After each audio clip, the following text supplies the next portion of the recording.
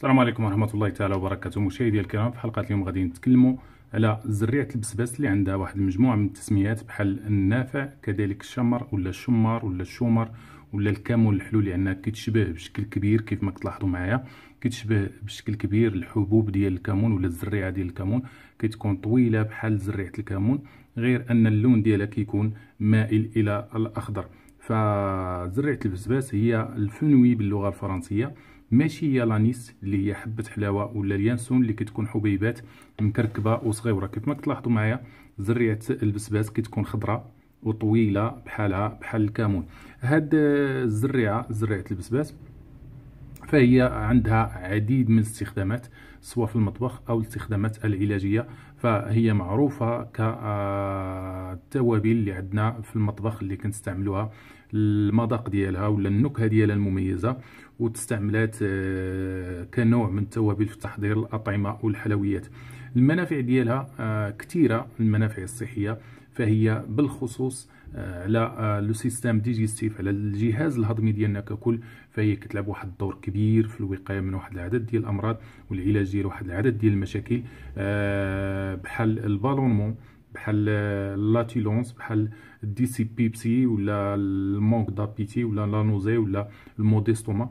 يعني الانتفاخ البطن عسرة الهضم بالإضافة إلى الأوجاع ديال البطن ولا المغص آه، فقدان الشهية كما كنقولوا الغثيان بالإضافة إلى الأوجاع ديال المعدة.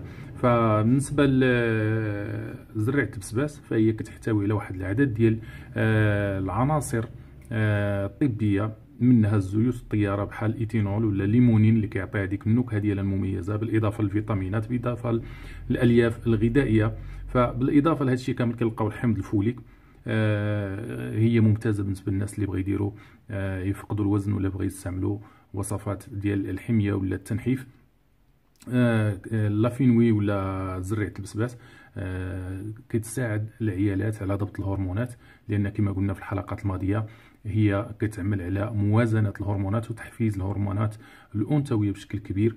فبالنسبة للفوتوستروجينات اللي كاينين في في, في زريعه البسباس فهي كتخفف الألم ديال آه، الدورة الشهرية آه، آه، بالنسبة للريغلاج ولا كتريغل السيكل ال menstruel ولا les règles ديال المرأة بصفة عامة.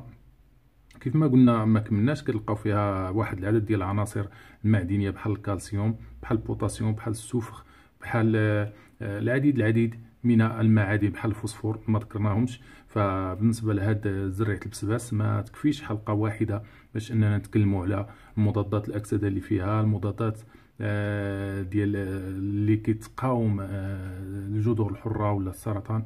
فالكثير الكثير من المنافع اللي كاينة في في, في زريعه البسباس فكيف ما قلنا اهم حاجة ولا أول حاجة فهي المشاكل الهضمية كت كت كتوقي منها وكتعالجها بحال الحرقة والغازات والنفخة الانتفاخ ديال البطن فقدان الشهية بالإضافة إلى مغص الأطفال الصغار الرضع فإلا عطيناهم شوية ديال آه، المستخلص ولا غير الماء ديال زريعة البسباس فهو كيخلصهم من داك المغص وداك الألم اللي كيكون عندهم على مستوى البطن بالإضافة إلى هذا الشيء كامل الالتهابات التنفسية ولا القصبات الهوائية الألم ديال الظهر. آه بالإضافة إلى أهم شيء الناس اللي عندهم الارتفاع الضغط. آه استعملناها مع بعض الأعشاب بحال سنا مكي فهي كتعالج المشكل ديال ال constipation ولا الإمساك اللي كيعاني منه واحد العدد ديال الناس. كما قلنا الدورة الشهرية فهي كتخفف الألم ديال الدورة الشهرية مع عسر الطمث اللي كيعانيو منه النسوة. فهي عندها نفس التاثيرات تقريبا الهرمون الأستروجين فهو كما معروف كما تكلمنا في الحلقة الماضيه في زريعه البسباس كتعمل على تحفيز آه إنتاج هاد الهرمونات ديال الأنوثة بما فيهم الهرمون ديال الأستروجين اللي كيعتبر هرمون الأنوثة بامتياز. آه كذلك زريعه البسباس فهي آه مزيانة للجلد اللي كيتعرض للحروق ديال الشمس. كذلك آه بالنسبة لزريعه البسباس فهي فيها آه كما كنقولوا آه تأثيرات مضادة للالتهاب كتساعد على آه العلاج ديال les inflammations اللي كنتعرضوا لها سواء الباطنية أو الخارجية. فالعديد العديد من آه الفوائد اللي كاينة في ال fenouil ولا في زريعه البسباس آه كتهدئ الأعصاب لانها كتعالج الاضطرابات ديال القلق بالإضافة إلى أنها مضادة للتوتر ال stress. كما كتعرفوا ال stress هو من بين أمراض العصر الصامتة اللي كتسبب في السكتات القلبية وكتسبب في واحد العدد ديال المشاكل بالنسبة للإنسان اللي كيعاني من مشكل ديال الضغط الدموي بالإضافة إلى الناس اللي عندهم مشكل ديال الخرف ولا الزهايمر الناس اللي متقدمين في العمر فزريعه البسباس كتلعب دور كبير في التأخير وكتحسن الذاكرة بشكل كبير بالنسبة للمرأة ولا العيالات اللي كيرضعوا فزريعه البسباس ولا النفع اللي كنقولوا حنا بالدارجة فهو كيساعد في إدرار الحليب.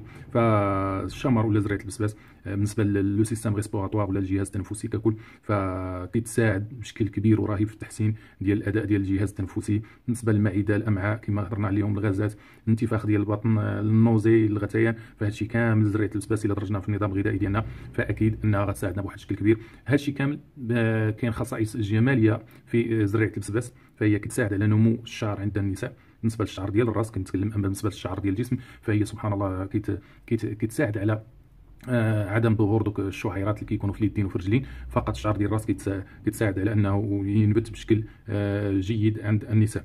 فكذلك آه المنقوع ديال ديال زريعة البسباس كيتساعد بشكل كبير في طرد البلغم تخفيف الآلام. فهي مدره للبول كما قلنا مزيان الناس صحاب ال tension لأن فيها البوتاسيوم بواحد النسبة مهمة. آه كذلك العلامات ديال التقدم في السن بحال التجاعيد فهي آه آه كتقلل منهم آه كذلك بالنسبة للناس اللي كانوا مشكل ديال السكري. فأكيد آه هي كتعمل على تخفيض المستويات ديال السكر في الدم الكوليسترول الضار فهي آه تساهم بشكل كبير في التحكم ديال آه في المستويات ديال الكوليسترول وكتحارب التصلب ديال الشرايين كيف ما كتعرفوا الكوليسترول الخطر ديالو على القلب والشرايين. بالنسبة للشمر آه بصفة عامة بالنسبة للأعراض الجانبية ولا آه كما كنقولوا حنايا دوك les les effets négatifs فهي قليلة إلا تناولت بواحد الشكل مضبوط. آه، لواحد الفترات اللي تكون قصيرة ماشي طويله فهي أكيد أنها ما غاديش تشكل لي شي شي حاجة سلبية. اللهم بالنسبة للأطفال الرضع ما خصهاش تعطاهم بواحد النسبة كبيرة. بالنسبة كذلك المرضعات هم يحاول ما امكن يتجنبوا لأن آه، باش ما يدوزوش الوليدات ولا الرضيع في الحليب ديالهم.